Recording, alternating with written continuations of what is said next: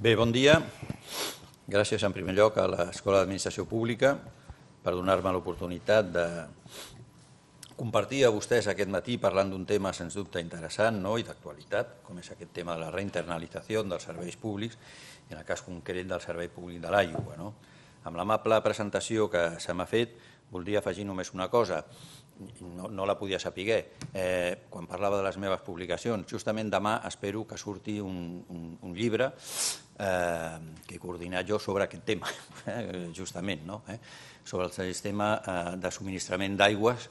Eh, és un estudi que s'ha fet, hem fet de manera comparada amb tres països, França, Itàlia i Espanya, eh, i on abordem no, eh, el tema de com està eh, aquest debat sobre el tema de subministrament d'aigua en aquests tres països. Eh, espero que demà eh, sortir el, el llibre, eh, l'edita l'editorial Justel, eh, farem una presentació a Madrid el 13 de juny i a Barcelona em sembla que el 27 de juny. Eh? Farem una presentació d'aquest llibre que acaba, eh, que acaba de sortir.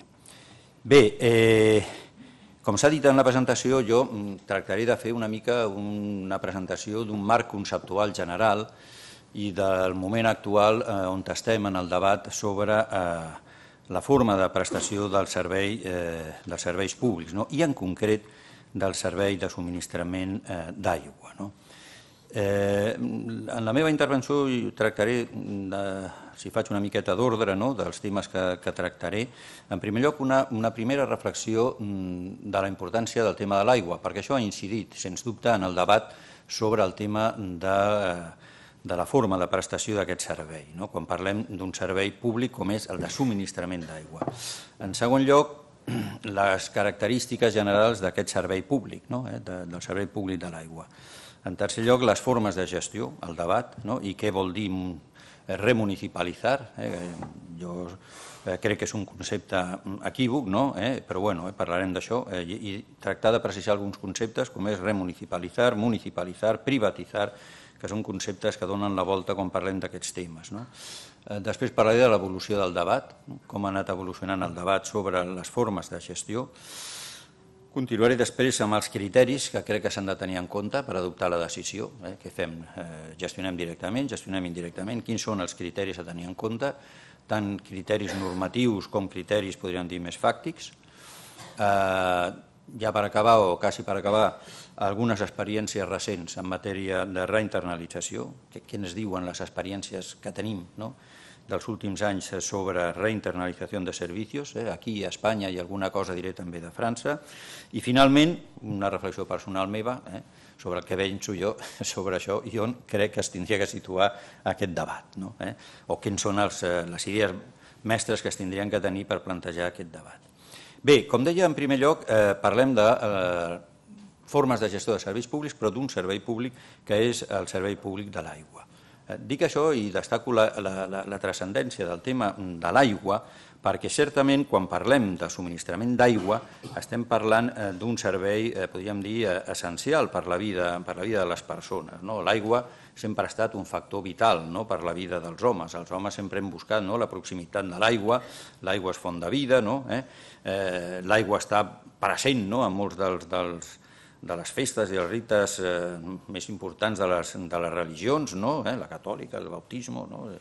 l'aigua no? i d'altres. No? Eh?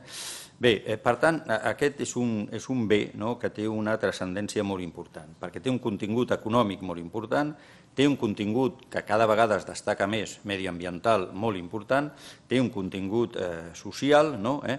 però sobretot és un bé imprescindible no? per la vida dels éssers humans. I per això l'accés no? eh? l'accés a l'aigua eh? Eh, s'ha qualificat, qualificat eh, com, un, eh, dret, eh, com un dret humà. No? I això, com dic, ha incidit no? també en el debat sobre les formes eh, de gestió. No? Aquest plantejament de l'aigua no? com, un, com un bé eh, essencial, com un dret humà, no? eh? per exemple, apareix, no? apareix amb, amb un recent relativament recent pronunciament del papa Francisco, no? en la seva encíclica Laudatio Si, no? eh? que es refereix eh? a, que s'ha de tenir una especial cura eh? de la casa comú eh? afirma, arriba a afirmar que eh, el agua se califica de derecho humano esencial, fundamental y universal, porque condiciona la supervivencia de las personas y por esta razón es condición para el ejercicio de otros derechos humanos. Eh? Aquesta idea no, està, està molt present no, eh, amb el debat actual, eh, inclús, com veieu, no, amb aquesta eh, encíclica del, del papa. No?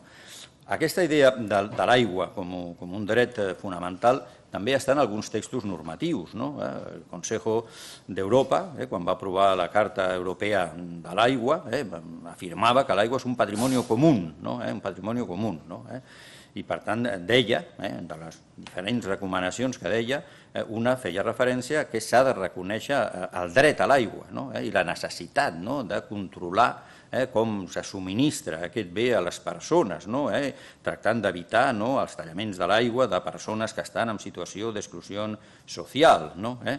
El Parlament Europeu, en una resolució de 11 de març del 2004, eh, va afirmar que l'aigua, eh, o la gestió, més genèricament la gestió de los recursos hídricos, eh, es tenia que entendre sempre no, com, un, com un bé públic, no, com un element essencial, no, que tenia que ser accessible a tots els ciutadans amb uns preus eh, socialment eh, assequibles, no, i que, per tant, que era un bé aquest de l'aigua que no es podia tractar com un bé més dintre del mercat, no? que era un bé de tractament, eh, de tractament especial. Bé, aquesta idea ha estat sempre, sempre present, aquesta idea del dret a l'aigua com un dret eh, humà, i això ha incidit, com ara veurem, no? en el debat sobre els modos eh, de gestió, no? sobre els modos de gestió del servei públic, del servei públic de l'aigua. No? Eh? Eh, però jo sempre eh, utilitzo una frase, quan parlo d'això, no, eh, que em sembla molt, molt significativa. És cert, no? el dret a l'aigua és un dret fonamental, és un dret eh, al que eh, els poders públics han de, han de garantir a totes eh, les persones. Hi ha algunes constitucions que ho tenen, no? inclús com, a, com, a, com a reconegut, no? com un dret humà, però no s'ha d'oblidar una altra cosa, no? el dret humano a l'aigua, eh, hi ha aquesta frase, no? una frase que està, que està en anglès, no? eh, que diu «The water is a God's gift, but uh, he forgot to light the pipes». Què vol dir això? Eh, el agua és un don de Dios, però Dios se olvidó de poner las cañerías. ¿no? Eh? I això és molt important. Eh? Dios, Dios no nos puso les canyeries. Eh? I per tant hi ha tota una feina que és agafar l'aigua des d'allà on està i portar-la fins a l'aixeta, eh, que això eh, s'ha de fer a través d'un servei públic. Eh? I aquí intervé ja eh, eh, la cosa de com s'ha de fer, no? eh? allò que Déu es va oblidar de fer i que han de fer els homes. No? Com prestem aquest servei? Com prestem aquest servei? No? Eh? Perquè dir que l'aigua és un bien, és un dret humà està molt bé, però bueno, perquè arribi a tothom no? en bones condicions de qualitat, de continuïtat, d'assequibilitat i tal, requereix la prestació d'un eh, servei eh, públic. I aquí entrem en el segon element de, del debat, no? de, de, de modos de gestió de los servicios públicos. Bueno, pues, és que precisament tenim que parlar de modos de gestió de servicis públics perquè l'aigua perquè l'aigua és un servici públic. D'aquest element de l'aigua com un bé essencial, etc., es deriven mm, dos conseqüències jurídiques molt importants. Una, ja l'he dit, la prestació ha de ser eh, com a eh, servei públic. Eh, I això ho tenim reconegut en el nostre sistema. I una altra condició, eh, l'aigua s'ha de considerar com un bé de domini públic, un bé que està fora del mercat. No? I això també ho tenim en el nostre sistema.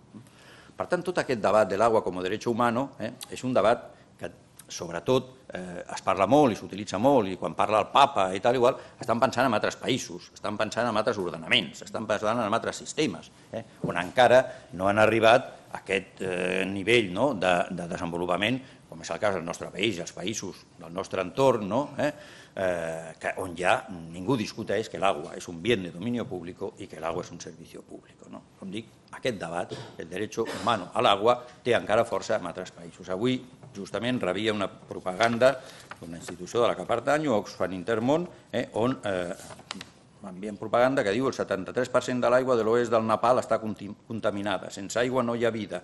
Amb aigua contaminada tampoc. I explica bueno, les feines de les dones del Nepal que tenen cada dia que carretejar l'aigua d'aquí allà.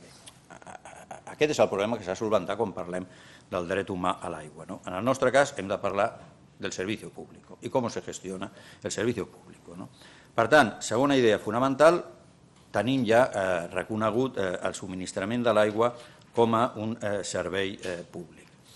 I aquest servei públic hem de tenir en compte que és un servei públic complex, eh? és un servei públic complex i costós, eh? perquè eh, s'ha d'agafar l'aigua d'allà on allà on es té, aquesta aigua s'ha de tractar, aquesta aigua s'ha de canalitzar, aquesta aigua s'ha de fer arribar als domicilis, aquesta aigua s'ha de recollir i s'ha de recuperar. No? Per tant, tot, tot això requereix una forta inversió, eh, uns coneixements, uns, una tècnica determinada. No? Eh, aquest servei públic, per altra banda, mm, en el nostre sistema el tenim reconegut com un servei públic local. És un servei públic local. No? És un servei públic local, eh, amb el que això vol dir. Eh? Quan parlem de concepte de servici públic, volem dir que és una activitat prestacional de contingut econòmic que l'administració, en aquest cas l'administració local, ha assumit com a responsabilitat seva. Els ens locals són responsables de garantir la prestació d'aquest servei. Com és un servei públic, com deia fa un moment, això vol dir que, l'aigua eh, s'ha de prestar amb aquestes condicions, que són les essencials de tot servei públic, amb un preu assequible, eh, amb una amb continuïtat, eh, amb un nivell de qualitat, eh, i s'ha de garantir l'accés a tothom. És a dir, si hi ha persones en situació de risc d'exclusió social, s'han d'establir els mecanismes perquè continuïn rebent aquest servei eh, i, per tant, no quedin excloses de l'accés a aquest servei. Per què? Perquè és un servei, eh, perquè és un servei eh, públic, perquè és un servei eh, públic amb aquestes, eh, amb aquestes condicions. No? Per cert, que serveis públics amb, amb aquestes condicions és un gran concepte del dret administratiu, el servicio público, però la veritat és que cada vegada n'hi ha menys de serveis públics, en el sentit eh, genèric de la paraula, eh, perquè portem anys de liberalització de servicis públics. No? A nivell de l'àmbit estatal o a nivell de l'àmbit de la comunitat autònoma, cada vegada hi ha menys serveis públics, no? a banda dels serveis eh, personals, eh? eh? sanitat, educació, serveis socials, eh? que aquests sí. Però el que són els serveis econòmics, aquests pràcticament s'han liberalitzat tots, eh? pràcticament estan liberalitzats tots, queden alguns pocs, i d'àmbit local, bàsicament, aigua, transport i recollida d'escombraries, enllumenat, eh? però són bàsicament els serveis de eh, contingut local. Bé, doncs aquí tenim un exemple de eh, servei públic de titularitat eh, local. Servei públic, ja he dit, les seves característiques de titularitat local està atribuït a les administracions locals. Aquí faig un petit parèntesis, apunto una qüestió, que simplement la deixo plantejada, que és el debat que està obert ara sobre si l'àmbit local és l'àmbit eficaç i eficient per prestar aquest servei. Això ara s'està discutint eh? i s'està pensant si no es tindria que anar a àmbits supramunicipals, eh? que poden ser a través de d'acords no? de creació de mancomunitats, àrees metropolitanes, diputació o altres eh, nivells territorials que prestin aquest servei. Aquest debat, per exemple, a Itàlia s'ha fet i a Itàlia han creat unes institucions diferents de les locals per prestar el servei de subministrament d'aigua. Eh? Els àmbits territorials òptimos. Allà han dit quin és l'àmbit territorial òptim per prestar aquest servei, l'han anat definint i han creat unes estructures eh, d'àmbit territorial per prestar el servei de l'aigua. A França estan en aquest debat en aquests moments. No? Eh, hi ha una llei que en principi obliga a modificar i treure de l'àmbit local el servei de l'aigua amb forta resistència i que per tant bueno, ja veurem si la llei s'acaba aprovant o no, eh, però eh, aquest debat hi és. I després apareix un altre gran tema, que és el tema de la necessitat o no de crear una entitat independent de regulació del servei de l'aigua. Eh? També en algun, a, a Itàlia ha, eh? a Portugal ha, en algun país ha, a França s'ho estan plantejant, aquí a Espanya es parla, de manera molt incipient, de la necessitat d'aportar no, el tema dels elements essencials de la prestació del servei d'aigua a una autoritat garant independent, eh, com una administració independent nova. Bé, això simplement ho deixo apuntat perquè és un tema que segurament eh, en un futur immediat es plantejarà també aquí en el nostre país amb una certa intensitat. Bé, deia per tant servei públic. Bueno, si mm, parlem de servei públic, eh, aleshores eh, hem de parlar de eh, quina forma de gestió. I aquest és el debat que ara tenim més intens. No? Eh, ningú discuteix que l'aigua es tingui que prestar a través d'un servei públic, municipal o no municipal, no? Eh? Eh, però, mm, en tot cas, eh, servei públic. Quines són les formes de gestió d'aquest eh, servei eh, públic? No? Bueno, en règim general, la, la gestió directa i la gestió indirecta. El debat que hi ha en aquests moments eh, parla de la eh, conveniència de eh, portar endavant processos de remunicipalització, de recuperar la gestió directa per als eh, municipis, per als ens titulars del servei. I aquí volia fer algunes precisions conceptuals, algunes precisions eh, conceptuals. Remunicipalitzar, no? Eh? Bueno, jo crec que aquest concepte és erroni no? eh? Eh, i té una certa càrrega ideològica. Perquè remunicipalitzar sembla que vol dir recuperem no? eh? pels ens locals allò que han perdut, eh? un servei públic que ja no tenen. No? Eh? Un servici. No? El servei públic de l'aigua és un servei públic local, això ja ho he dit, no? està a les nostres lleis. Eh? Per tant, no hi ha res que remunicipalitzar en aquest sentit, eh? no hi ha res que remunicipalitzar. Eh? Qüestió diversa és canviar la forma de gestió i passar d'una forma de gestió indirecta a una forma de gestió directa. Però bueno, això és reinternalitzar el servici, eh? tornar a internalitzar la prestació del servei. Per tant, el concepte, al meu entendre, tècnicament més correcte, no és remunicipalitzar, eh? perquè el servici està eh, en principi municipalitzat, eh? però en tot cas és un servici públic local, eh? i eh, el que sí que es pot plantejar és abandonar la forma de gestió indirecta per passar a la forma de gestió directa. Per tant, reinternalitzar el modo de prestación del eh, servicio. Aquesta idea de remunicipalitzar em porta a una segona precisió eh, conceptual, municipalitzar un servici. No? Perquè què vol dir un servici? He un moment, el servei públic de subministrament d'aigua a poblacions és un servei públic local. Així està establert en la nostra legislació local, és un servei de prestació obligatòria pels municipis. Però això no vol dir que estigui municipalitzat a tot arreu, perquè municipalitzar, municipalitzar és quan l'ens que és titular d'un servei decideix assumir la prestació d'aquest servei.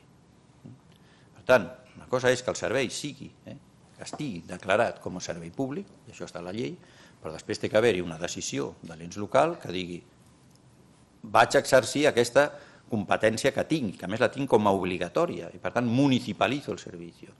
I un cop el tinc municipalitzat, després decideixo si el presto de manera directa o de manera indirecta.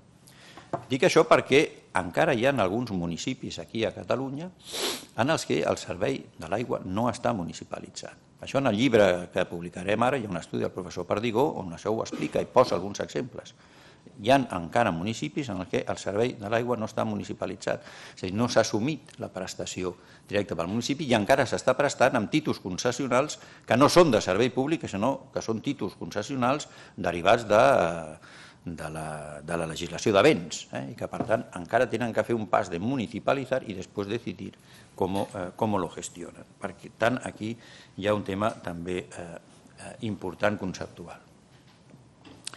I en tercer lloc, un altre eh, concepte que em sembla important tenir eh, clar és el concepte de privatització. Eh, de privatització. Perquè moltes vegades, mm, quan es parla de formes de gestió, no? eh, eh, i es diu gestió indirecta, eh, dius, és privatitzar el servici. I per tant s'ha d'acabar amb la privatització del subministrament de l'aigua eh, i s'ha de passar a una gestió directa. Eh? Y aquí muchas vegades s'utilitza la idea que está, el derecho humano al agua, el es un bien que no puede estar en el mercado, no se puede hacer negocio con el agua, eh? per tant hem d'acabar amb la privatización del agua, que és la puesta en manos de empresas privadas la prestación del servicio. Bueno, jo crec que aquí també s'ha de eh, matitzar, no? Eh? és a dir, la gestió indirecta del servicio del agua a través d'una concessió, eh, a través d'una gestió interessada, eh, o a través d'una forma de gestió de, a través d'empresa d'economia mixta, no vol dir privatitzar el servici, eh? o no vol dir privatitzar el servici en el sentit autèntic o dur, podríem dir, del concepte de privatitzar. És cert que se privatitza, podríem dir, la forma de prestació del servici, eh? que se passa d'una forma de gestió pública a una forma de gestió a través d'empresa privada. Eh? Si es vol dir privatitzar en el sentit formal del tèrmin, bé, correcte. Però no vol dir això torno a repetir, que se haya pasado eh, el suministro del agua eh, a manos privadas. El servicio del agua continúa siendo un servicio público local.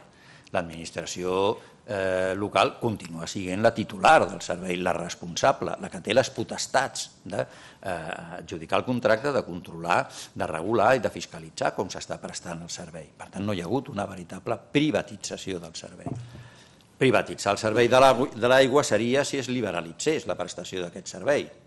Com fa anys, per exemple, es va liberalitzar els serveis, els serveis funeraris. Això sí que és una privatització autèntica. Eh? Quan hi havia un servei que era un servei públic local i que en un moment determinat es diu això passa al mercat. Eh? I ara els servicis funerarios que se presten en règim de mercat.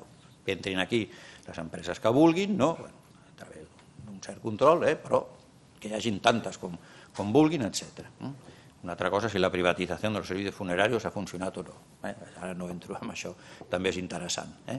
Però, eh, eh, però eh, això és privatitzar. Això sí que és privatitzar. En el cas de l'aigua no s'ha fet. Eh? En el cas de l'aigua, continua sent un servei públic de titularitat local.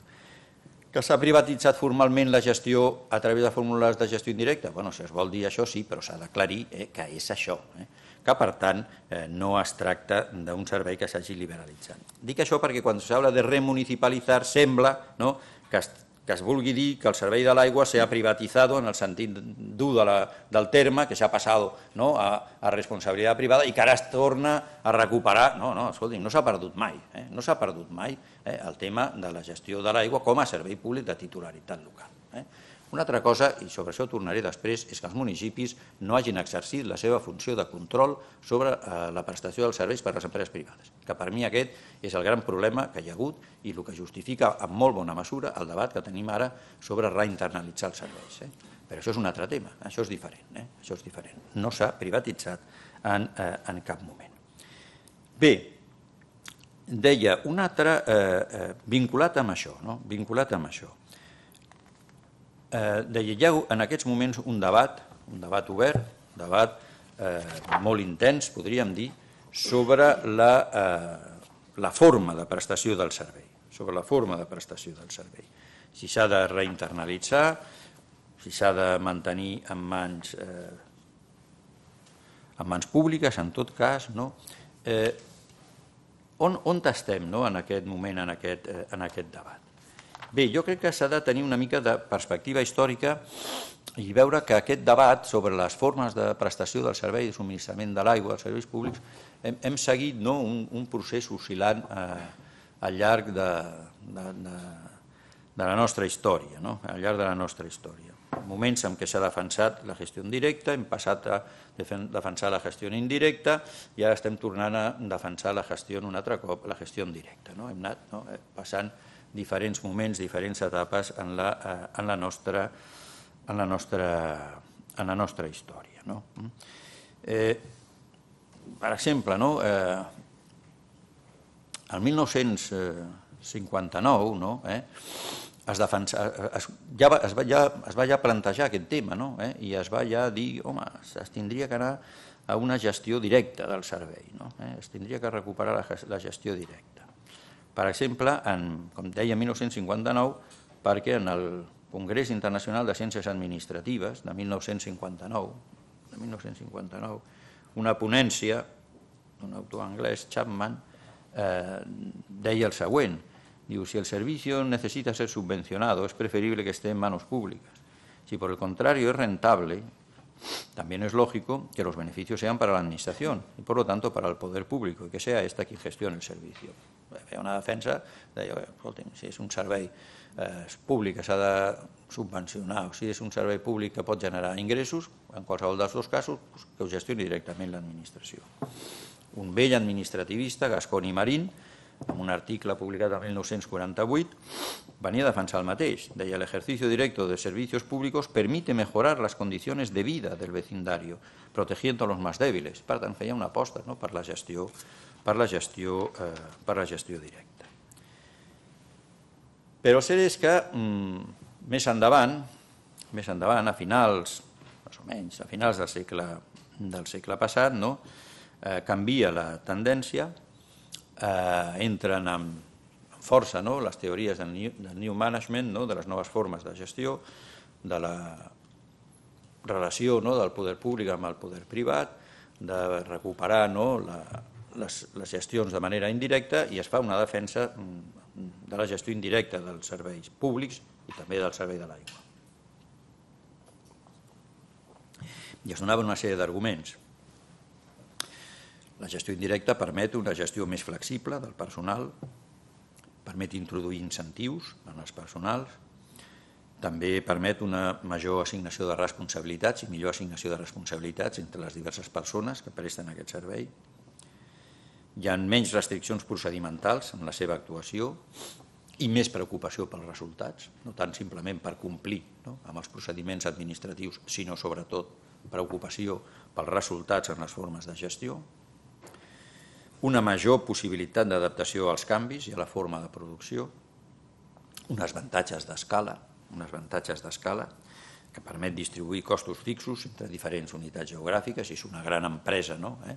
aquesta pues, té, evidentment, no? uns grans beneficis no? des del punt de vista de costos, no? eh? perquè es pot redistribuir no? eh? entre els diferents llocs on presta, on presta aquest servei, una major facilitat i major possibilitat d'accedir al finançament. No?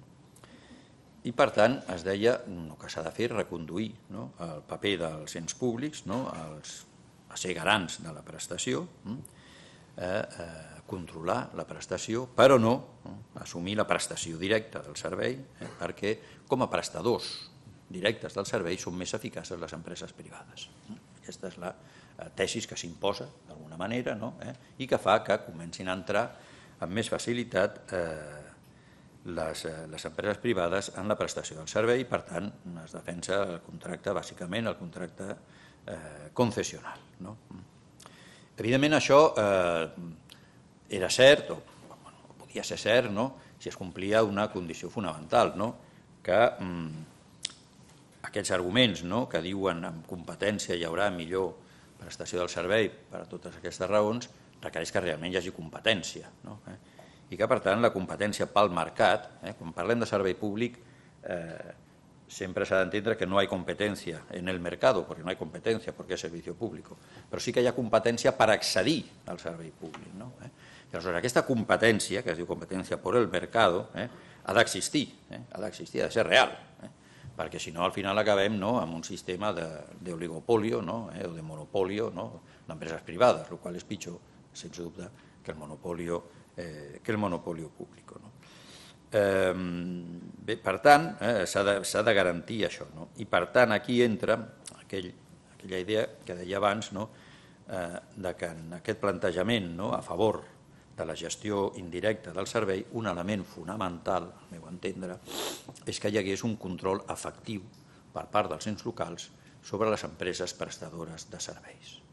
Que les empreses prestadores de serveis eh, no tinguessin, en principi, contractes de molt llarga durada, que no s'acabessin convertint no? eh, en, podríem dir, titulars del, del servei, que imposessin les condicions, que no tinguessin control, no? eh, que fessin el que, el que volguessin, no? eh, i que, per tant, això subvertia no? eh, les avantatges no? que pot tenir la gestió, eh, la gestió indirecta. I tal vegada, alguna d'això és el que ha passat en els últims anys. Bé, com a conseqüència segurament d'això bàsicament i d'altres eh, factors, també un canvi ideològic, l'accés al poder local de determinats partits polítics eh, d'altra ideologia, no? eh, eh, fa que, com dic, últimament, els últims anys, es plantegi no, la remunicipalització, millor dit, la reinternalització de los, eh, de los servicios eh, públicos. I aleshores no, apareixen no, una sèrie d'arguments no, en defensa de la gestió eh, pública, de la gestió pública dels, eh, dels, serveis, eh, dels serveis públics. No?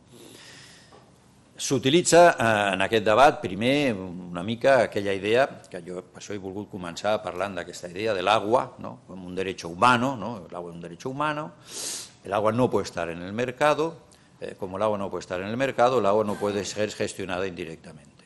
No se puede hacer negocio con el és un primer argument, meu entendre, bastant ideològic, eh? bastant ideològic, no? eh? però que està present no? eh? I, que, eh, i que es repeteix. No? Eh? He vist manifestacions no? amb l'argument no? eh, el agua és democràcia, no sé ben bé què vol dir, ¿no? el agua es democracia, el agua ha de ser gestionada necesariamente de manera directa, no porque es un derecho humano. Bueno, però a banda d'aquest debat hi ha altres arguments que sí que apareixen amb força que diuen, bueno, no s'ha acreditat, no s'ha acreditat eh, les expectatives sobre una millor qualitat no? en la prestació del servei públic eh, per part de les empreses privades, ni s'ha acreditat una reducció en els costos. No? Aquest és un, un argument. Un segon argument és dir, bueno, els ens públics han anat aquí, adquirint no? eh? una, una major coneixement, no? eh? un major know-how no? sobre les formes de prestació dels serveis. Per tant, ja estan capacitats no? per, per poder prestar directament els, els serveis. No? Eh? Eh, el gestor públic té també l'avantatge de que, a més a més de criteris d'eficiència econòmica, doncs pot introduir també de manera més més intensa no?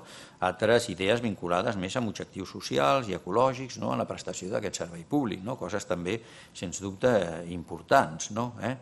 Eh, I, per tant, no, s'ha d'acabar una mica amb el que deia abans, no? amb la manca no? de, de, de, de control, no? amb la captura no? del regulador per part de l'empresa privada i, per tant, s'ha de recuperar el control directe dels, eh, dels, serveis, eh, dels serveis públics. No? Bé, jo crec que ens trobem ara una mica en aquest moment del debat, no? eh? en el que, com veuen, doncs hi ha arguments a favor i en contra. No? Hi ha arguments, no? com els que he dit abans, no? a favor de la gestió indirecta, no? de la gestió indirecta, però també apareixen amb força arguments a favor de la gestió, de la gestió directa. No? Eh? De la gestió directa. No? Eh, crec que bueno, s'ha doncs d'atendre a tots dos eh, serveis d'acord amb uns criteris no, generals no, que, ara, que ara tractaré d'exposar. De, no, eh? En qualsevol cas, jo sí que crec que mm, s'ha de, eh, en aquest debat no, s'ha d'evitar caure en plantejaments eh, purament ideològics, no, eh? identificar la gestión pública como lo bueno y la gestión privada como lo malo, o al revés, ¿no? la gestión privada como lo bueno y la gestión pública como lo malo, no? eh? sinó d'analitzar realment bueno, quin és, eh? en cada cas, en cada tipus de servei, en cada cas concret, no? quina serà la millor fórmula no? Per prestar aquest servei, tenint en compte la idea fonamental, que estem davant d'un servei públic essencial, com és el servei públic de l'aigua, i que s'ha de garantir és aquesta prestació en condicions de qualitat, d'assequibilitat en el preu, de continuïtat i de protecció de les persones que estiguin en risc d'exclusió social. Aquesta, aquesta és el fonamental. Per assolir això, què és millor? Gestió directa o gestió indirecta? bueno, doncs no ho sé. Eh?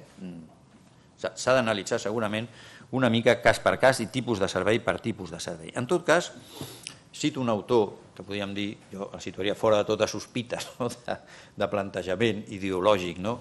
Eh, en un sentit o en un altre, almenys com va dir les paraules que va dir, que és el professor Germà Bell, no? que analitzant, és un estudiós del tema de la prestació de les formes de, serveis públics, va dir el següent, diu l'any 2009, em sembla, no? diu, las cosas no son simples ni lineales en numerosos terrenos de la política pública. El de la privatización local es uno de ellos.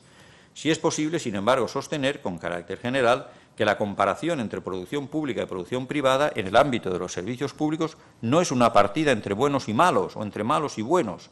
Este no es un terreno propicio para los defensores apasionados de la superioridad sistemática de la producción privada, pero tampoco lo es para los defensores incondicionales de la prestación de caràcter públic.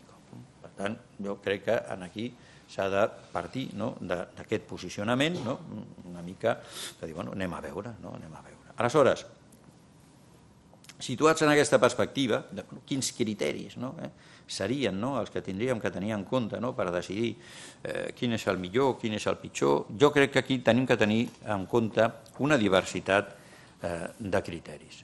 Alguns eh, més fàctics i altres eh, més eh, normatius. No? més normatius. Per exemple, primer criteri, diversitats de serveis. Eh? Diversitats de serveis. Eh? De quin servei estem parlant quan decidim si és millor prestar-ho de manera directa o de manera indirecta. No? És un servei econòmic, és un servei de tipus personal, és un, és un servei que requereix comptar amb una gran intensitat de personal per la seva prestació, és un servei on hi ha una forta càrrega de coneixement tècnic, bueno, doncs depèn de totes aquestes variables, a lo millor podem pensar bueno, que seria millor per a aquest servei una gestió directa, per a aquest altre servei una forma de gestió, eh, de gestió indirecta. No? Per exemple, sobre la forma de prestar un servei econòmic amb una forta càrrega de mà d'obra, com seria el servei de recollida d'escombraries, hi ha un estudi fet a l'Ajuntament d'Hospitalet quan es va plantejar aquesta qüestió per una, un economista en el que analitza, veu entendre de manera bastant rigorosa el tema i acaba concloent que és millor la gestió indirecta d'aquest tipus de servei. Bueno, bé, hi ha, hi ha, hi ha una sèrie d'arguments que allà es defensen en aquest sentit. Eh? A lo millor, eh, per un altre tipus de servei, arribaríem a una altra consideració. Un primer criteri. Un altre criteri, bé, el tamany del municipi on s'ha de prestar el servei. No? Eh? és un servei petit, és un municipi petit, és un municipi gran, com deia abans, eh, hi ha possibilitats d'establir ens supramunicipals no? que puguin crear economies d'escala per la prestació d'aquest tipus, eh, tipus de servei. No? Eh? Eh, és un servei en red no? i que per tant requereix prestar-se no? a molts llocs on eh, es té que fer una inversió important no? perquè s'ha d'arribar a qualsevol petit nucli de població i per tant això té unes despeses d'inversió molt importants o no. Eh? Bueno, aquest també és un criteri important a tenir en compte. Un altre criteri, la situació financera de l'ens local. Bueno, quina és la situació financera de l'ens local? Quines necessitats d'inversió tindrà a l'assumir aquest servei? Eh, és un servei en el qual fa anys que no s'ha invertit res i que per tant requereix una inversió molt important. Si és així, el municipi pot invertir tot això que se li demana, té capacitat per finançar-se, com està la seva situació des del punt de vista dels controls d'acord no? amb les noves lleis no? de sostenibilitat econòmica i respecte pressupostari. Ho podrà fer o no? Eh? Eh, si no ho pot fer, no serà millor a l'empresa privada que sí que li podrà portar aquest capital que de moment el municipi no pot fer per dur a terme la prestació d'aquest servei. Aquest és un altre element eh, que es tindrà que tenir en compte. Un altre criteri fonamental la relació concessional existent. Hi ha una relació, hi ha un contracte de concessió en vigor, eh, quants anys de durada queden encara de concessió. La relació amb l'empresa concessionària és una bona relació, gestiona de manera eficaç, no hi ha queixes sobre la prestació del servei, o sí. Eh? Eh, aquest també és un criteri molt important. Si s'ha de, si de recuperar la, la gestió, si s'ha de recuperar la gestió, és a dir, si s'ha de fer una remunicipalització, el que es diu una reinternalització anticipada, és a dir, perquè el servei s'està prestant, aleshores aquí els problemes són molt més grans. Eh, de fet, les remunicipalitzacions que es fan normalment són totes quan s'ha esgotat la concessió. Eh? És a dir, quan s'ha esgotat la concessió, aleshores es pren la decisió de dir, bueno, ara què fem? Tornem a treure a, a licitació o ho assumim com gestió directa perquè aleshores t'evites el problema del pagament al concessionari, clar, perquè si ho fas anticipadament entra en joc el rescate, i el rescate que està previst a la llei de contractes, que està previst a la llei de contractes actual, eh? Sí, perquè va haver un moment que va haver un cert debat que es deia, no, el rescate ha desaparecido, las directivas comunitarias no permiten el rescate, no permiten la recuperació anticipada. No? Bueno, després això no està la nostra llei, la nostra llei permet el rescate, eh, permet el rescate com una fórmula de recuperar la gestió anticipada eh, i per tant eh, passar d'una gestió directa a una gestió, perdó, d'una gestió indirecta a una gestió directa. Perquè el rescate, això també és important tenir-ho en compte, el rescate, eh, si es fa, vol dir que se recupera el servicio para gestionarlo directamente. Lo que no es pot fer es rescatar para volverlo a sacar a licitación. ¿no? Això no es pot fer. Eh? Però sí que es pot rescatar para pasarlo a gestionar directamente. Això es pot fer. Ara, el rescate, també ho diu la llei, no ho diu, però bueno, la jurisprudència sí, és una expropiació, s'equipara una expropiació. Per tant, s'ha d'indemnitzar. Quin és el cost d'aquesta indemnització? Quan ens costarà? No? Eh? Eh, per tant, normalment el que es fa, com dic, és esperar. Eh? al final de la concessió, no? la ventana el que es diu una ventana d'oportunitat, i quan surt aquesta ventana d'oportunitat, ara puc recuperar sin coste del rescate. Eh? Sin coste del rescate. Bé, el rescate també, el que sí que diu la llei de contractes, el que sí que diu la llei de contractes és que se puede rescatar la concessió. Se puede rescatar la concessió. Article 294, apartat tercer de la llei de contractes. Però, però diu, el rescate de la concessió, además, a més a més de la indemnització, diu, requerirà la acreditación de que dicha gestión directa es más eficaz y eficiente que la concesión. I, per tant, eh, es diu, bueno, si vostè Ajuntament vol rescatar, té que justificar de manera suficient eh, que eh, la gestió directa que vostè durà a terme serà més eficaç que la gestió indirecta que està fent l'empresa concessionària. Eh? I això requereix no, un estudi eh, rigorós i seriós no, de que la fórmula nova serà una fórmula més, eh, més eficaç. No? Per tant, com veuen, hi ha tota una sèrie d'elements que es tenen que tenir, eh, que en compte, no? alguns dels quals tenen aquest contingut jurídic, com per exemple el que diu aquest article en el rescate. Però és que eh, eh, aquesta idea de que s'ha de justificar el mode de gestió i, per tant, encara que sigui en el moment final, s'ha acabat la concessió, voy a a la gestió directa. La llei de règim local diu ara que en la elecció del mode de gestió es tindrà que justificar, es tindrà que justificar que si s'opta hm, pel mode de gestió directa és perquè és més eficaç que la gestió eh, que la gestión indirecta. Ha de ser más eficaz, más eficiente, la que respon no? amb més precisió als principis de sostenibilitat econòmica i de respecte als principis eh, pressupostaris. Per tant, això es tindrà que justificar. A veure, aquí la llei de règim local no diu tampoc res que no sigui un principi general de tota actuació administrativa. No? Tot acte administratiu s'ha de motivar, tot acte administratiu s'ha de motivar. L'administració actua de justificar el per què adopta la decisió, sempre. No? Eh? El que passa és que aquí la llei ha volgut insistir una mica. No? Escolti'm, eh, en aquest tipus de decisió vostè té que motivar eh, el per què adopta aquesta decisió i, i ho tindrà que justificar de manera eficaç, eficient i etc. No?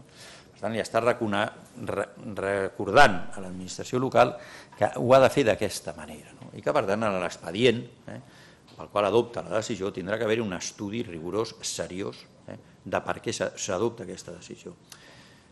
I de vegades aquests estudis mm, bueno, no tenen tot el rigor i tota la força que han de tenir. Eh?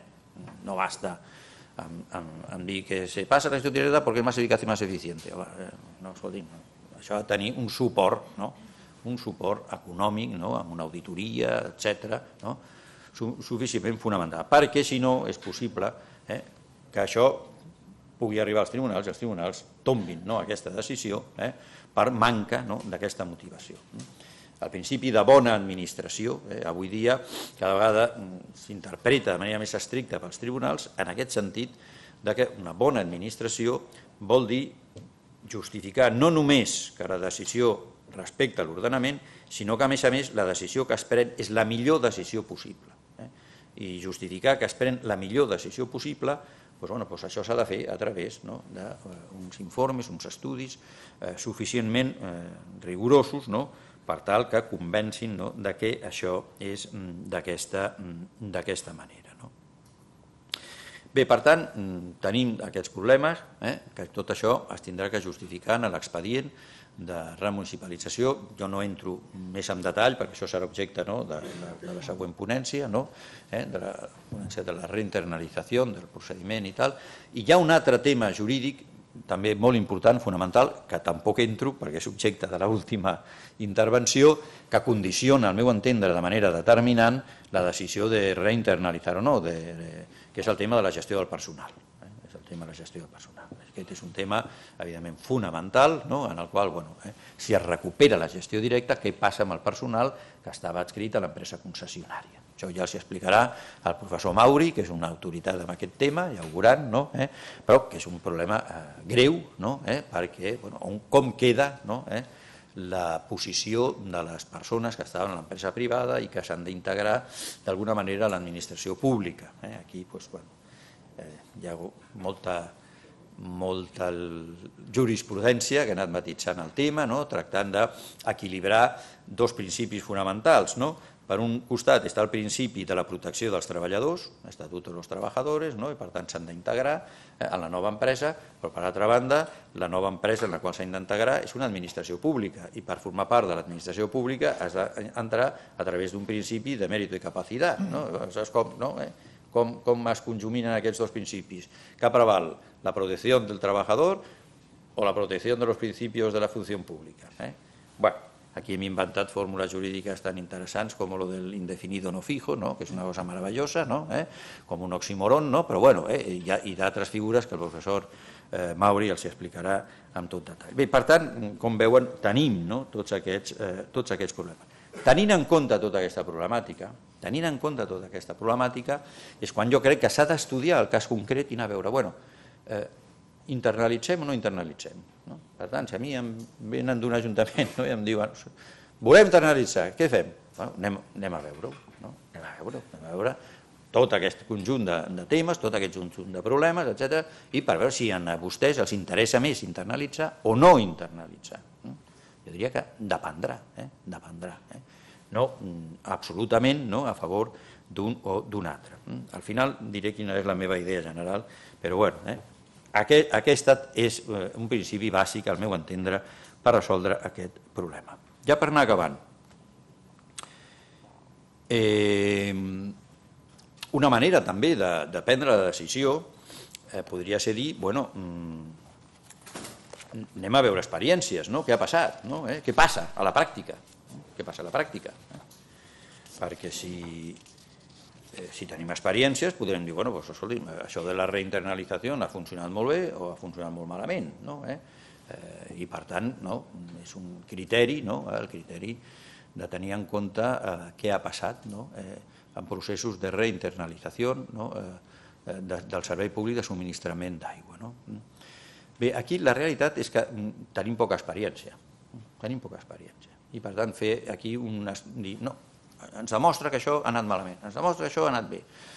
Doncs jo diria que no ho podem dir tampoc de manera radical i rotunda, eh, perquè no tenim no, eh, allò unes,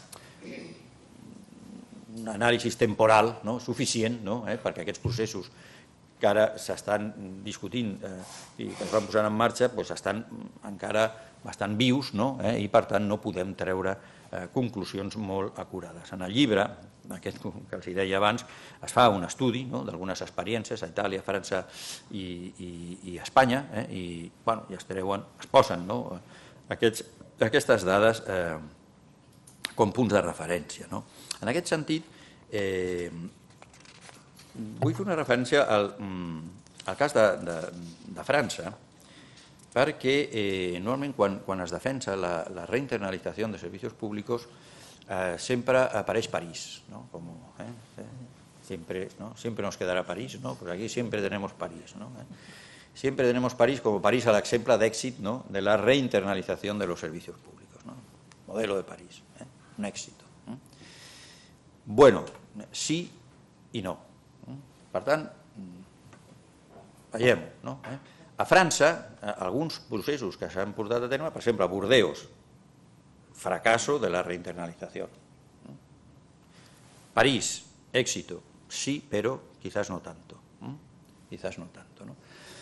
A París és cert que es va reinternalitzar el servei, per tant es va recuperar eh, el servei subministrament de l'aigua i es va vendre com un gran èxit. No? Eh, hi ha un llibre de la impulsora de tot aquest procés, no? eh? que era la regidora de París, no? que va dur a terme aquest procés, es diu Anne Lestrat, no? eh, i el, el, el títol del llibre ja és una mica significatiu. No?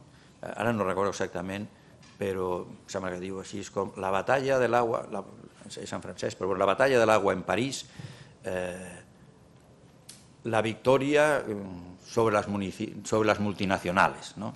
Sigui, ell eh, eh, escriu aquest llibre com, mm, eh, com si fos una batalla no? de, de, de David contra Goliat no? eh? i que tal, el municipi no? gana la batalla a les multinacionals del Servicio de Suministro del Agua no? i que imposen no? un, un canviament i tal. No?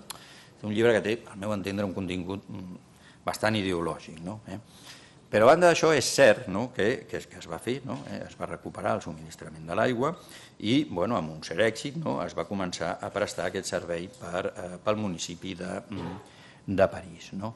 Però, però algunes dades més, més recents, algunes dades més recents eh, ho matitzen una mica. No? Clar, primer, sí, es va recuperar el servei de subministrament d'aigua a París quan la inversió que era necessària fer s'havia fet ja totalment per les empreses privades. És a dir, París rep eh, el tema de l'aigua quan té el servei, podríem dir, en perfecto estado de revista. No? I per tant no de gastar de moment d'entrada per fer inversions, perquè totes les inversions estan fetes. No?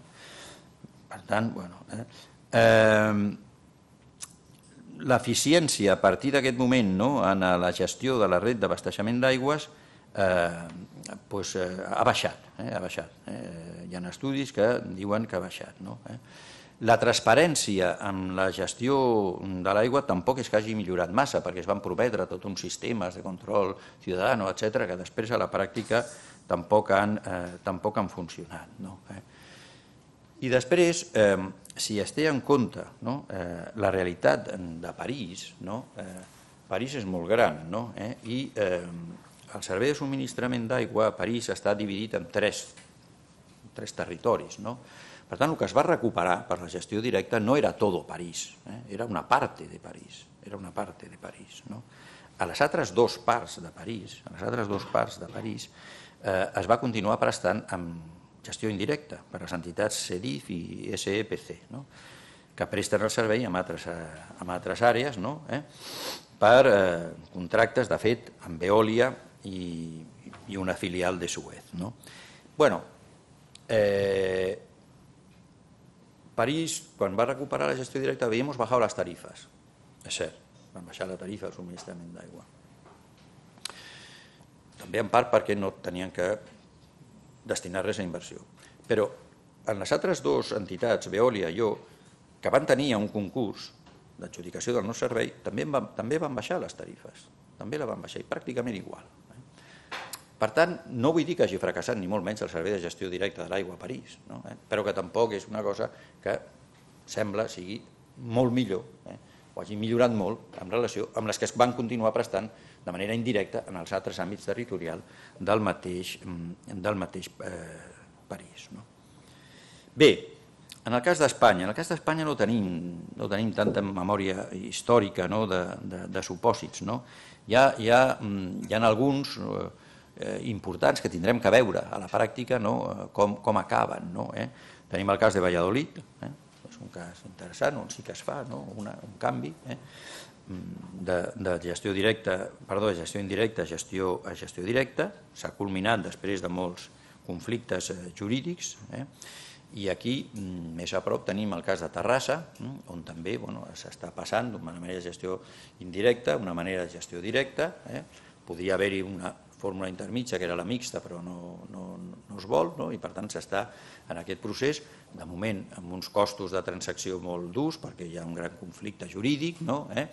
però bueno, veurem no? al final no? què, què passa no? eh, si es culmina aquesta forma de gestió, eh, de gestió directa. No? Tindrem que valorar. A Catalunya hi ha altres supòsits no? de, de remunicipalitzacions, no? eh? Que en aquest llibre s'estudien, no? agafant només un punt, que és el tema de com han evolucionat les tarifes després de la reinternalització. Aquest és un element important, no és l'únic, eh? per tant, escolti, bueno, les tarifes sí, però s'han millorat altres coses, eh? i per tant, al fer la valoració es tindrien que tenir en compte molts elements, però, home, el tema de la tarifa és, és important, el tema de la tarifa és important. No?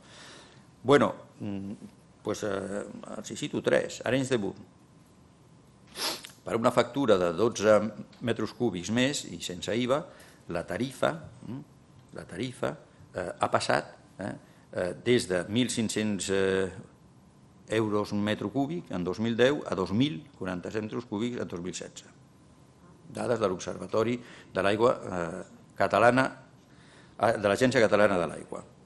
A Collbató, pel mateix temps i la mateixa factura, la tarifa ha passat de 1.700 a 2.200. A Figaró-Montmany ha passat de 1.100 a 2.100. I hi ha d'altres en aquest estudi que es posen de manifest que segueixen línies similars. Per tant, un increment notable de les tarifes després dels processos de reinternalització dels serveis. Bueno, aquestes són mm, aquestes són les, les, les dades no? eh? que tenim. Ja els dic que no, fi, segurament caldria analitzar-ho amb molta més, eh, més cura, tenint en compte altres elements, etc, però ja és una dada significativa, ja és una dada significativa. Eh, I els he tractat d'exposar no, els criteris conceptuals i dir bueno, que ho tindríem que decidir en cada cas, què és millor, què és pitjor, etc. Ja per acabar la meva intervenció, jo crec que aquí hi ha una reflexió teòrica general a fer,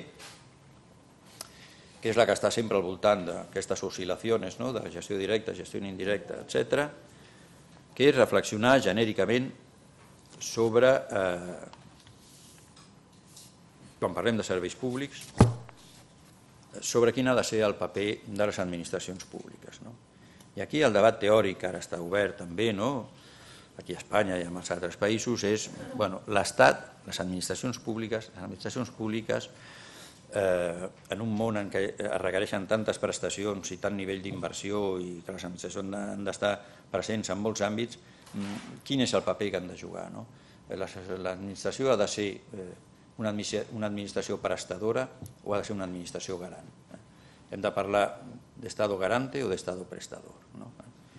Eh, jo crec, i aquesta és una reflexió personal meva, que mm, és més convenient pensar que les administracions i els poders públics han de jugar un paper de garantes de les prestacions i no necessàriament, en tot cas, de prestadores de los servicios. Per què? Perquè cadascú ha de fer allò per lo que té més mitjans, més capacitat i més coneixements. I les administracions, al meu entendre, el que han de fer és planificar, regular i controlar. Planificar, regular i controlar. Definir. Garantir que el servei es prestarà correctament. I per això exercir tot el seu poder però en canvi poden deixar eh, que la fase de la prestació, de l'execució del contracte, estigui en mans privades. La col·laboració público-privada, al meu entendre, entendre, és una bona eina, eh, sempre que, torno a insistir, eh, sempre que sigui una col·laboració público-privada amb la que l'administració no renunciï ni molt menys a la seva capacitat, que és la capacitat de regular, de planificar i de dirigir i de controlar. El que ha de fer és estar sobre del que fan les empreses privades, no deixar que l'empresa privada es converteixi en un eh, capturador del regulador. Eh?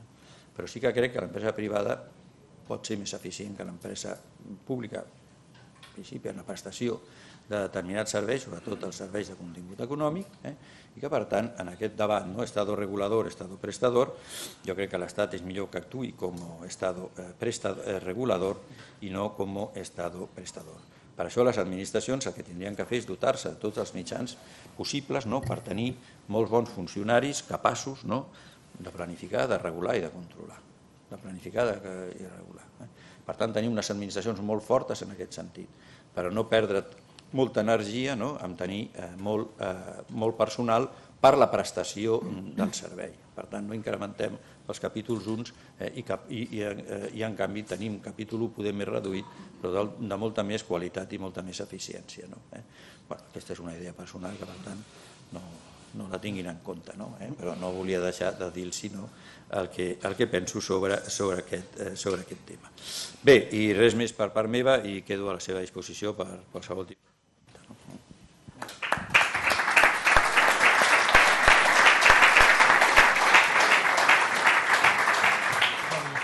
Moltes gràcies per la brillant exposició en la que ens ha aclarit una sèrie de conceptes i a més a més ens ha situat una mica quin ha de ser el punt de sortida a l'hora de prendre la decisió de si s'ha de reinternalitzar o no.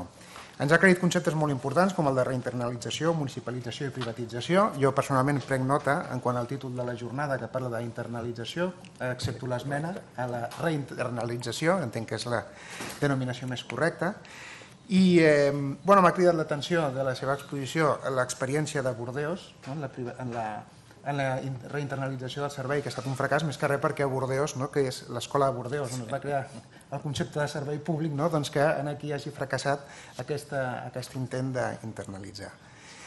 Eh, eh, una de les qüestions, abans de passar el torn a preguntes, eh, jo faig una puntualització que m'ha eh, cridat l'atenció també, és aquesta eh, voluntat en els propers, properament que ha apuntat de crear un servei d'abastament d'aigua d'àmbit supramunicipal i en aquí jo crec que entra en joc sí, probablement la creació d'empreses de capital íntegrament públic de diferents eh, municipis. No? Entenc que podria ser una de les portes, una de les finestres a l'hora de eh, prestar aquest servei que seria una gestió directa, però mitjançant un instrumental com és una empresa de capital íntegrament públic.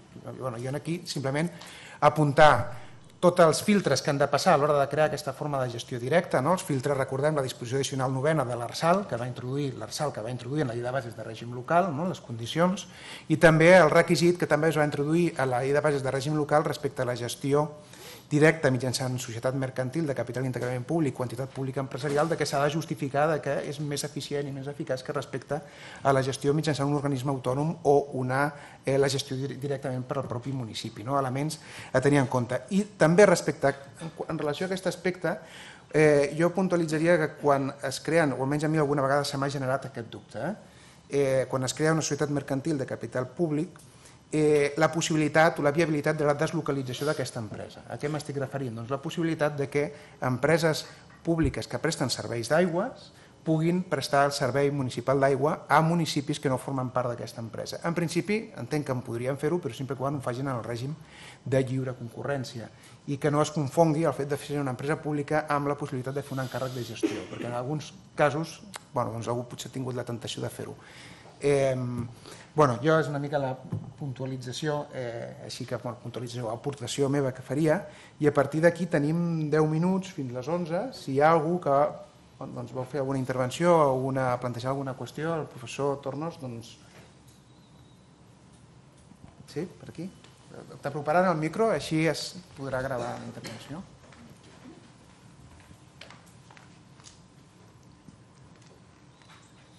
Hola, bon dia. Bueno, primer felicitar-lo per la intervenció, l'he trobat molt interessant i una mica vinculat amb les conclusions i el tema que ha parlat de la necessitat de control per part de l'administració pública de la prestació d'aquests serveis, jo li volia mm, demanar quina opinió li mereix tot el tema de control tarifari, és a dir, com s'està portant a terme per l'administració, si creu que és adequat el que s'està fent, si s'està donant compliment al que preveu la directiva marc de recuperació de costos i si creu que hi ha algun punt a millorar respecte a aquest punt de la tarifació del, del preu de l'aigua. Mm. Moltes gràcies.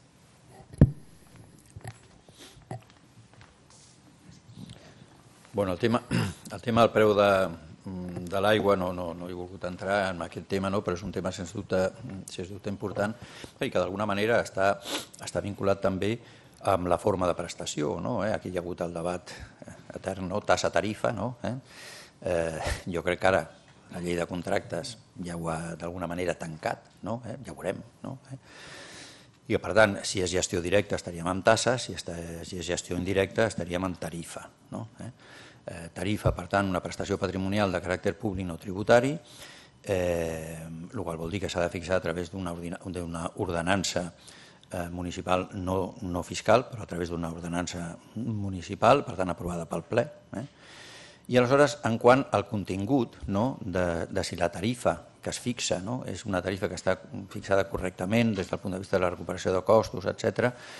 Bueno, doncs clar, això depèn de com es, eh, com es faci dintre no, d'aquest procediment de fixació de la tarifa en l'ordenança aquesta fiscal no, no tributària. No? És aquí on s'han de, fer, de fer els estudis, etc. No? Eh? I, i depèn, doncs, per tant, també de la capacitat del municipi per tenir els mitjans tècnics, etc., no? per poder dur a terme aquests estudis que justifiquin la correcció de la fixació de la tarifa. No? Aquí tenim un altre element que és la intervenció de la Comissió de Preus. No? Eh? Les tarifes estan subjectes a control de la Comissió de Precios. No? Eh? Aquí s'obre un altre debat. La Comissió de Precios què ha de fer? No? Eh? Si la Comissió de Preus és una comissió que pot intervenir eh, únicament per controlar diguem-ne les alces exagerades de les tarifes, que és com es va crear inicialment la Comissió de Precios per combatre la inflació, o ha de ser una comissió de preus no, que determini la correcció i fiscalitzi no? la correcció de les determinacions de les tarifes, no? que també és un debat de quin paper volem que juguin les comissions de preus. Hi ha algunes que funcionen millors, hi ha altres pitjors, i jo crec que hi ha comunitats que no en tenen. No? Una comissió de preus que funciona molt bé, per exemple, és la de València, no? eh? en la qual, eh, segons em va dir el, el, el director no? de la Comissió de Preus de València, eh, diu, no, és que a mi els municipis m'envien la, la petició, fíjamela tu, no? A dir, no és que ja eh, eh, m'envien perquè la revise, sinó que dice, no, fíjamela tu.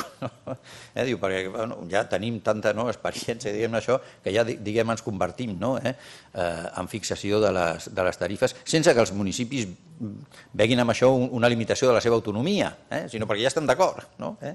Eh? perquè els hi presta un servei, podríem dir. No? Eh? Bé, per tant, aquí és un, és un, és un tema eh, sens dubte important. I això mm, eh, enllaça amb el que he dit de l'autoritat garante, eh, independiente, etc. Tal, no? El que fa, per exemple, la italiana és fijar les tarifes. Mm? Ja no està en mans del poder local. Eh? Ho ha assumit aquesta entitat garante. No? Eh? bueno, és un tema a discutir. No? Eh? Clar, això fa perdre poder a l'autonomia local, evidentment, no? eh? però mm, eh, seria bo que les fijacions de les tarifes estiguessin fora no? de, del poder local i que per tant estiguessin en mans d'una autoritat garante que per criteris tècnics i més neutres, més allunyats, no? eh? podríem dir, de, no sé, dels interessos locals, polítics concrets en un determinat moment les fixi i aquesta autoritat garant, si parlem a Espanya, té que ser una estatal o pot haver-hi una autonòmica. No?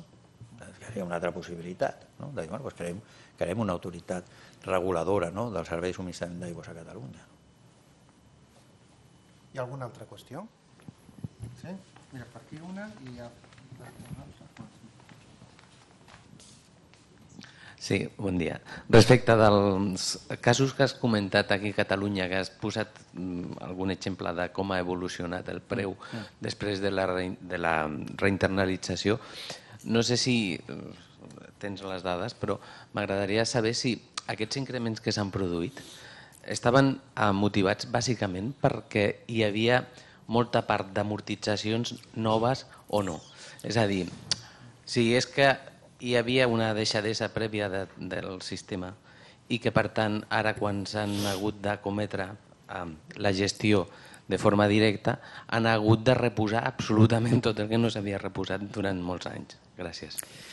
La, la veritat és que no, no, no ho sé, però el que, el que diu és absolutament eh, encertat. No? Ja he dit que el tema de la tarifa s'ha de veure, no? he dit s'ha de veure en el seu conjunt, és una, és una dada, però no es pot interpretar exclusivament d'aquesta manera. Eh? Jo he dit, perquè jo tenia aquestes dades que dona l'Observatori de l'Agència Catalana de l'Aigua, però és cert que s'ha de fer aquesta reflexió. I per què s'ha produït? Eh?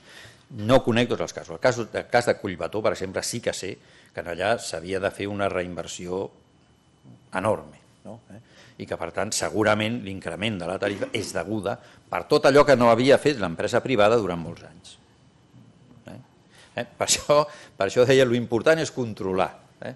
El que no pot ser és que s'arribés al moment que s'arribés no? sense que durant no sé, 20 anys de concessió no s'hagués fet allò que s'hagués tingut de fer. Que hagués tingut que fer l'Ajuntament és controlar, exigir, imposar, tal, tal. Eh?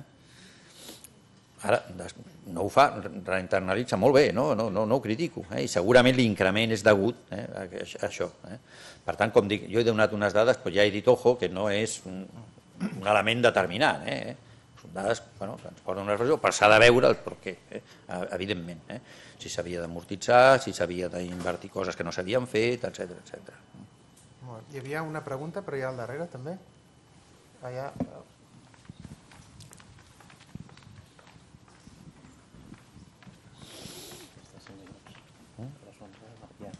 Sí, bon dia. Jo tenia un, un parell de preguntes eh, pel professor Tornos. Ha parlat de, la, de que alguns ajuntaments no tenien a dia d'avui feta la municipalització. No, no parlo de reinternalització o remunicipalització, no, no confong els termes, diguéssim, sinó que no tenien establert al, al servei. No? En aquest sentit, hi, hi ha sentències del, del, del Suprem, avanço que la doctrina no em sembla pacífica, no? però hi ha sentències del Suprem que eh, avalen que eh, aquells serveis que estan reservats, és a dir, no que en tenim la competència, sinó que a més a més en tenim la reserva per l'article 86, seria innecessari dur a terme l'establiment que ens marca el 159 del ROAS. No?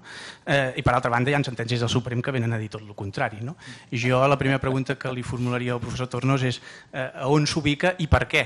És a dir, per què si s'ubica en l'àmbit de no, escolti, vostè ha de fer l'establiment del servei, si en tenim la reserva, eh, perquè hem de dur terme aquest establiment eh, i si no, si ens ubiquem doncs, a, a l'altra part de, de la jurisprudència de la doctrina, no, escolti, vostè ha de dur terme l'establiment sembla sempre i en tot cas. No? Jo entendria dur terme l'establiment eh, en un supòsit doncs, d'activitat doncs, econòmica que vol prestar l'Ajuntament exemple imaginari, no, escolti, faig una promoció d'habitatge públic, de lloguer, i, i, i doncs ho vull gestionar directament i per tant doncs, gestionaré els arrendaments. Escolti, vostè té establert aquest servei sí o no? Doncs, doncs òbviament ha de fer prèviament l'establiment del servei i després veurem com evolucionem. No? Però en els serveis reservats de l'article 86 de la llei de bases hem de dur a terme realment l'establiment sí o no? Seria la primera pregunta. No? I, I la segona pregunta eh, ve a torn de, dels encàrrecs de gestió que ha plantejat eh, el Víctor eh, ara al final. No? És a dir, eh, certament la, la nova llei de contractes i la directiva doncs, eh, intenta resoldre el que el Víctor ha exposat, però em sembla que no ho acaba de resoldre clarament tampoc. No? És a dir, eh, aquells municipis que compren participacions socials a les empreses eh, capital 100% públic i doncs, tenen un representant en els consells d'administració i eh, tenim doncs, un antecedent a l'estat espanyol que és el Tribunal eh, de la Competència Basca ens ve dir, per un cas doncs, de la Diputació d'Àlava amb una empresa pública, no? amb participacions de municipis de la província en aquesta empresa pública, ens ve dir que doncs, un representant de, de no sé quants al Consell d'Administració i una participació en el capital social del 0,0 no sé quant per cent respecte a la totalitat, doncs és un frau de llei, no? això no és un control anàleg. Eh? Eh, aleshores, també la meva pregunta seria al senyor Tornos eh, com ho veu això i on, i on s'ubica, no? més enllà de la pràctica administrativa habitual que sabem quina és, que és que eh, s'entén per a càrrec de gestió, perquè s'entén que hi ha un control anàleg, perquè, perquè tenim participació en el capital social, tenim representants en la Junta General i el Consell d'Administració i, eh, a més a més, doncs això eh, s'interpreta com un control conjunt. Home, un control conjunt de dos sobre no sé quants, mm, jo entendria un control conjunt quan no n'hi ha cap que arriba al 50% del capital social. Aleshores sí que hi ha un control conjunt. Si n'hi ha un que supera el 50% del capital social, el control conjunt no sé com, com l'hem d'entendre, no? Molt bé. Eh, doncs jo és han quedat clares les dues preguntes que ha formulat. Molt bé, molt bé. No, dos, dos preguntes molt interessants. No? Molt... Eh, a veure, eh, sobre la primera, sobre la primera, el tema de la municipalització i el procediment. Com ha dit molt bé, aquí tenim eh, jurisprudència contradictòria i la doctrina tampoc és uniforme. No? Eh, jo, la meva opinió, és que en els supòsits en els quals es tracta de serveis públics que ja estan reservats, eh, no s'hauria de seguir el procediment estricte de l'article 86. Perquè ja la llei eh, ho diu, no? perquè ja la llei ho diu. Una altra cosa és que sí que es tingui que fer una manifestació, no? però sense seguir tot el procediment gravós. Per què hi ha el procediment gravós del 86? Perquè és quan es vol, d'alguna manera, és a dir, es vol protegir que una decisió del municipi pugui treure de l'àmbit del, del mercat una determinada activitat. I aquí s'exigeix tot aquest sistema rigorós. Si això ja està fora de l'activitat de mercat perquè ho ha dit la llei, ja no cal seguir tot aquest procediment. No? És un procediment reiteratiu. Una altra cosa és que sí que l'Ajuntament tingui que fer una agressió i escolti, eh, assumeixo jo la responsabilitat i, i en el mateix acord i decideixo que ho gestiono directament o indirectament. Eh? Però jo crec que en aquests processos no cal una municipalització efectiva amb tots els requisits del 86. Eh? Altra cosa és, si per més garanties i tal, un diu, no, doncs, bueno, ja ho faig tot i així evito possibles impugnacions, etc. Eh? Però, mm, al meu entendre, no, soc més partidari de la jurisprudència que ho admet també en aquest sentit. Una segona pregunta, uh, un tema molt interessant també, el tema dels medios propis. Jo no he volgut entrar en aquestes qüestions perquè entenc que és possible que siguin objecte de, de la segona ponència. No? Eh? Per tant, no he volgut entrar en les formes de gestió, de, empresa eh, mixta, empresa municipal, 100%, los encargos de gestió, etc. Però és cert que el tema de los encargos de gestió pues és un tema eh, conflictiu. No? Eh? Ja, hi ha llocs per exemple, a Itàlia són molt crítics eh, els encargos de gestió perquè entenen que l'encargo de... És a dir, crear una empresa, crear una empresa, eh, crear una empresa mercantil, no? 100% de capital públic, per otorgar-li la gestió eh, després com un encargo de gestió, s'ha criticat perquè allà veuen que això, li diuen d'alguna manera que és privatització no? eh? i que és perdre el control polític per part de l'Ajuntament sobre aquella empresa. Eh? I per tant van criticar-ho molt. Eh? Inclús va haver-hi un, una mena de referèndum i tal on es deia no, no, no poden haver encargos de gestió perquè esto es extraer del control político ¿no? del municipi no? que té que estar en el pleno i no eh? passa. Bueno, que és un... a part, a part d'això, no? eh? eh, que en aquest llibre està molt, molt explicat, eh, per el que em pregunta, el tema del control anàlogo. Clar, és cert que es creen empreses d'aquestes grans, no? en les quals eh, bueno, és una mena de gran empresa en la qual eh, socis compra una acció i com compra una acció ya, so, es medio, ¿no? ya se convierte en medio propio mío y ya le puedo encargar el servicio. ¿no? Eh, el tema de l'aigua podríem parlar del conjac. No? Eh, això és possible o és possible? No? És medio propio o no és medio propio? El problema està en el tema que vostè ha dit, el tema del control anàlogo. Eh? És, capital, és empresa 100% pública, eh? és empresa que realitzarà més del 80% per l'empresa tal, tal, però hi ha un control anàlogo sobre aquest municipi que compra una acció i que tiene un representant en el Consejo de Administració d'aquesta empresa. Bueno, això mm, jo crec que la, eh, la resposta ara la podem trobar en la jurisprudència comunitària, que és la que ha interpretat aquest concepte de control anàlogo. No? Eh? I que en aquest sentit podem entendre que eh, ens, ens vincula. No? Eh? I aquesta jurisprudència comunitària, el Tribunal de Justícia de la Unió Europea, eh, ha estat molt, molt favorable a ampliar eh, el tema del control anàlogo en aquests casos de, de control conjunto. ¿no? Eh? L'article de la directiva, eh? l'article de la directiva, en el 12.3, ¿no? eh? on diu ¿no? que és esto del control conjunto, i diu, bueno, en el cas del control conjunto, la exigència de control anàlogo s'ha d'interpretar en aquest sentit. No? Em sembla que és el 12.3.a, no? s'ha d'interpretar en aquest sentit. I la jurisprudència ho ha interpretat. I hi ha algunes sentències, ara no recordo exactament la data, eh? però sí eh, eh, el nom, eh? la sentència Conditel, la sentència Asenfo, la, la sentència la més recent Endocort, eh, que han arribat a dir, miri, control anàlogo, control anàlogo en el cas, en el cas de control conjunto vol dir simplement tenir una participació en la societat i algun membre hm, en el Consejo de. I ja està. Eh? Si són uno de, de muchos, és igual. Esto es control análogo ho, ho han interpretat així, en, una qüestió, en qüestions prejudiciales. ¿no? no, no, s'ha d'interpretar, este, a partir d'aquí, pues claro, ja, ¿no? ja estic d'acord, que, que esto, que decir que és control anàlogo, hombre, eh, però bueno, ¿y Traxa què? ¿No? ¿Y Traxa què? ¿No? Eh? I ja va haver una sentència no? eh? del Tribunal de Justícia que va admetre no? que, era, que era medio propio. No? Molt bé, doncs... Això que hi havia una pregunta encara. Eh? Sí, hi ha una... Val, doncs fem la... Sí. Mm, és, és en referència al mateix tema. Poder una mica perquè el tema aquest del control anàleg s'interpreta no tant en el control efectiu del servei, que ve regulat perquè l'encomanada de gestió no deixa de ser un contracte que podria ser equiparable al que podria establir amb un concessionari. I allà l'ens local que té aquest control particular determina contractualment amb el poder adjudicador quina és la prestació, com el control de la part pública, que així ve determinada, com diu la jurisprudència comunitària, pel fet de que al final el 100% d'aquesta decisió és d'interès públic i s'entén que no és contradictori el d'un ens públic respecte al d'un altre. No sé com ho veu el, el doctor. Sí, sí, no. A veure, es pot interpretar així, no? Eh? que el que es vol és garantir que hi hagi un control públic i com l'entitat és totalment pública i tots tenen algun sí. Ara, eh, clar, realment dir que l'empresa que fa l'encomana no? té un control anàlogo sobre l'encomendado, perdó, sobre el, sí, sobre l'encomendado, igual al que té sobre els seus propis òrgans, home, si només tens un, no? un representant en el Consell, eh, poco vas a controlar, no? Eh? Poco vas a controlar. Estàs, eh? estàs allí, eh? estàs allí t'enteres, però controlar, controlar, controlar, no, en aquest sentit. Eh? Ara, també es pot fer aquesta interpretació, és la que ha fet la jurisprudència comunitària, eh? vull dir que, que per tant aquí és molt àmplia. No? Eh?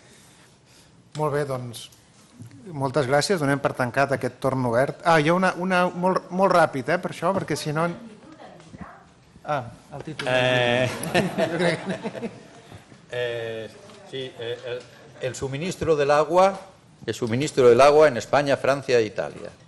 Editorial Justel. El preu no li puc dir. Segur que val la pena. doncs ens veiem a la següent ponència, que és a dos quarts de dotze. D'acord? Aquí. Molt bé, moltes gràcies.